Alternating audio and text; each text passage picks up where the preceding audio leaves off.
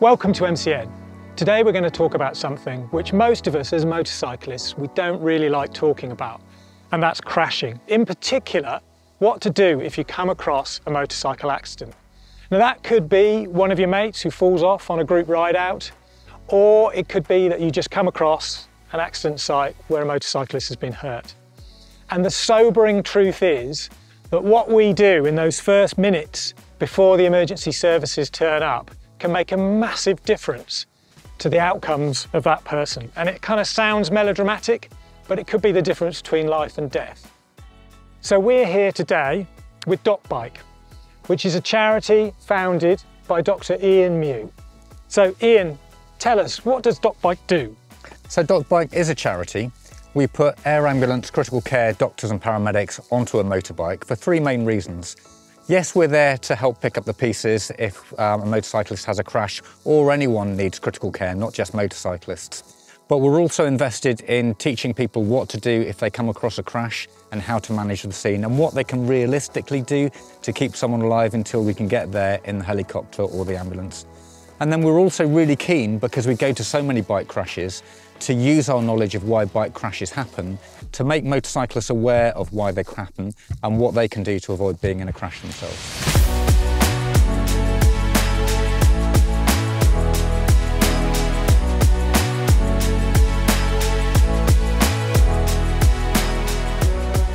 So now we're going to go to a crash site which we've mocked up so Ian can talk us through what to do and what not to do if you come across a motorcyclist who's fallen off.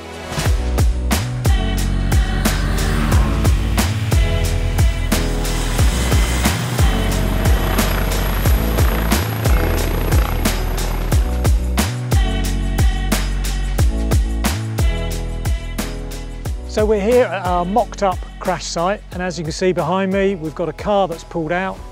Our motorcyclist, Alison, has crashed into it, gone over the bonnet and has landed here. So now I'm going to talk to Ian about what I should be doing. Now the first thing I'm thinking is, as I'm approaching on my bike, where do I park? Yeah, and it's really tempting to drive right up to the crash, but actually you need to keep the casualty safe so they don't get run over twice. You need to keep yourself safe so that car doesn't come around the corner and smack into you. So actually parking your bike down the road is really important. Um, if you're on a 30 mile an hour road, you want to be about 40, 50 metres down the road. Don't park in the curb because people will think you've just broken down, but park more towards the central um, line. You've still got to allow emergency services vehicles to get around you. And of course, if you're on a corner, you need to either be round the corner or send someone to go around the corner so cars don't come round the corner at 60 miles an hour and smack into you. Dual carriageway, obviously, it's a completely different thing. You're 70 mile an hour road, you're talking, you know, going about 500 metres down the road. But just look after yourself, make sure you don't become a casualty, and try and make sure that the road is shut down in both directions to keep you and the casualty safe. Okay, great. So I've parked in the right place, got my hazards on. I'm now approaching Alison, our crash victim, what should be going through my mind? What's the order of priorities? And it's really tempting, especially if you know the rider, if you've been riding in a group, to run straight up and find out how they're doing, because that's our natural instinct. Actually, you need to call for help. You've got a motorcyclist, they've had a high impact incident, um, they are not moving. That's, that's bad news. So get on the phone, ring 999. Doesn't matter if your phone hasn't got a signal, um, still ring 999. And if there is a mast on a different network around, it will process your call. Um, let them know where you are, let them know how many casualties are involved, but get that help coming to you. Because as soon as you get involved in the casualty, you'll forget to ring for help and you'll be there for half an hour. What if, as is often the case, I don't really know where I am? Yeah. So I've turned up somewhere in the peaks. What, what, what do you do? Still make the call. Um, if there are other people on scene, some of them may be local, get them to make the 999 call, and actually they can act as your communications while you're dealing with the patient but still make the call. Call takers are used to people not knowing where they are. They will be able to work out where you've come from and going to. But also, if you've got what3words on your phone, that's like gold dust to us. That pinpoints you to a three metre um, square area and we'll be there in no time. OK, the what3words details will be on the description of the video at the end. So I've parked in the right place. I've called 999, told them where I am. Now what? Because my inclination now is to properly panic. That's fine. And this is why biker down courses will talk you through what you need to do. But essentially, we've learnt from the wars and conflicts in Afghanistan that trauma, um, the main cause of death is bleeding. So, what you can realistically do that's going to have the greatest effect, other than calling for help, is keeping Alison's blood inside her body. So, you can do that in a sequence of things where you go for direct pressure, um, tourniquets, basically do whatever you need to do to keep her blood inside her body until we can get there on the helicopter. Great. I mean, we haven't got time for a full first aid course. Yeah. So just take me through the basics of how do I know if she's suffering from massive bleeding? I mean, how do I know the difference between a bad cut and catastrophic bleeding? And it is that catastrophic thing that we're talking about, because otherwise we're talking about airway, breathing, circulation. But if we go through airway breathing and we're dealing with helmets and breathing and someone's bleeding out, they will have lost all of their circulating volume by the time you get to circulation. If someone's got blood pumping out, it's spurting into the air or it's visibly spreading across the floor, that's catastrophic bleeding. Right. You need to stop that and, and you need to do it fast. So say Alison's bleeding out of her thigh, it's quite catastrophic bleeding, you've got big vessels in there. Actually, we need to stop that, so let's go and do it. So bikers, we've generally got gloves on. Keep them on, they'll protect you. Um, you've got blood everywhere, it's, it's just a good thing to do. But what we need to do is pack this. If you've got any cloth, t-shirt, anything like that, we want to pack that into the wound.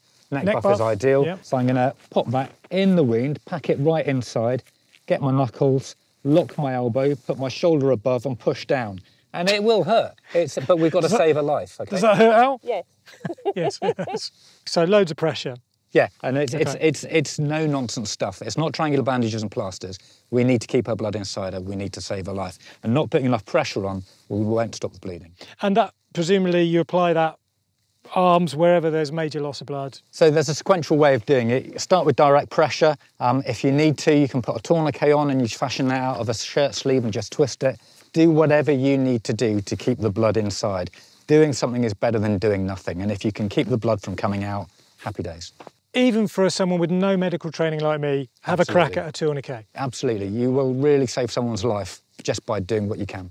Okay, great. Okay, so um, let's say that there's no catastrophic bleeding. Yeah. What next? So now we can actually talk to Alison because we haven't had the sedent thing yet.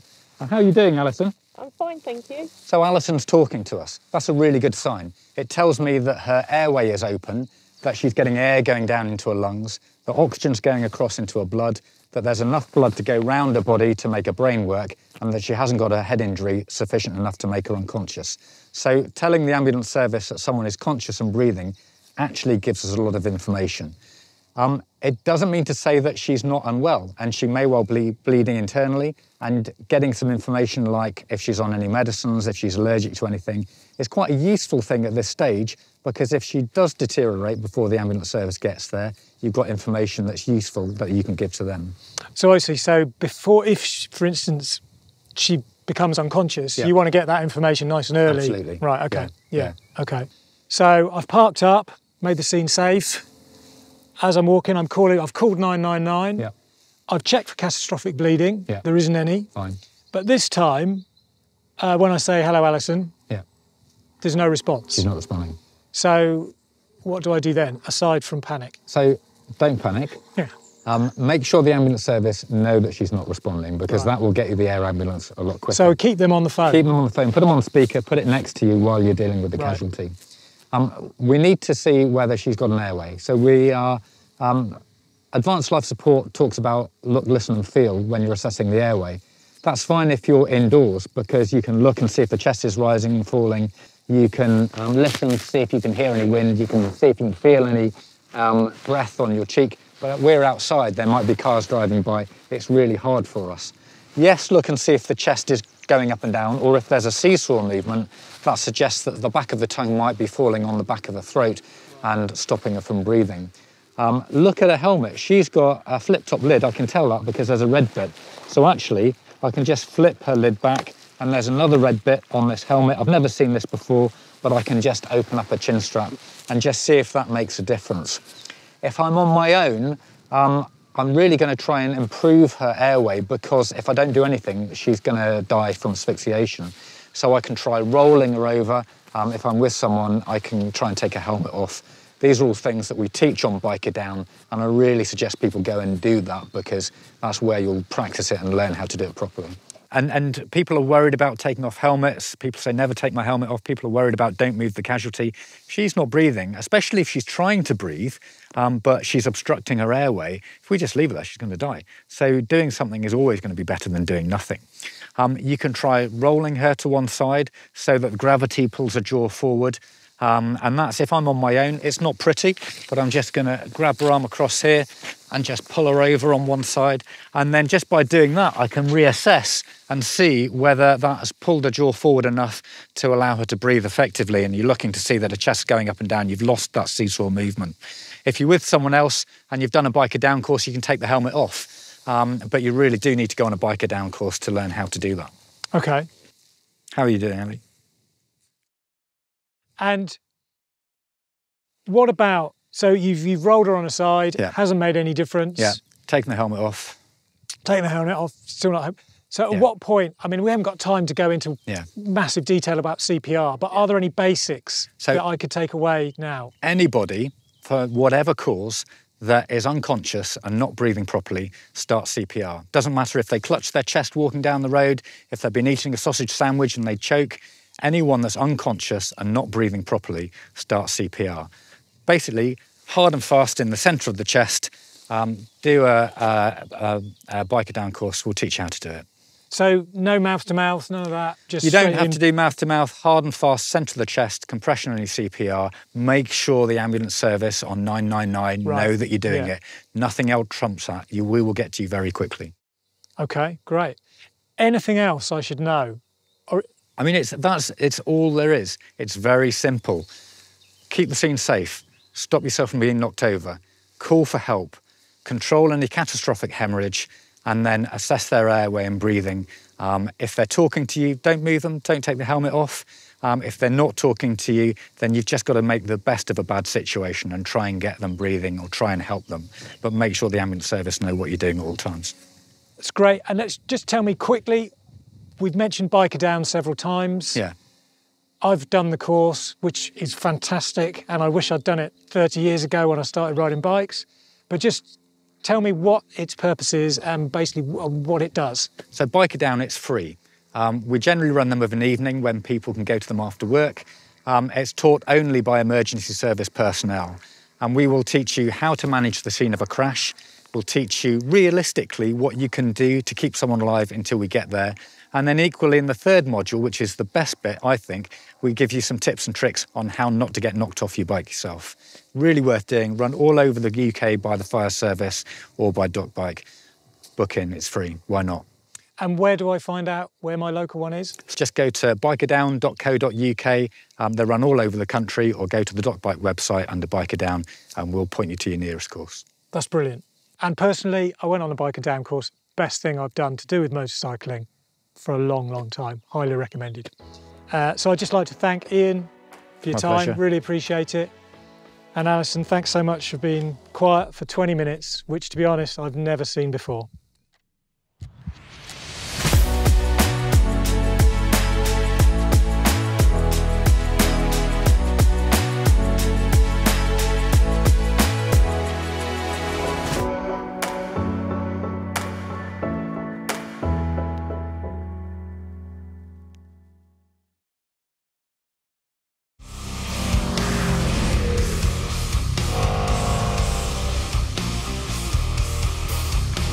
Biker Tech, a range of performance parts for bikers.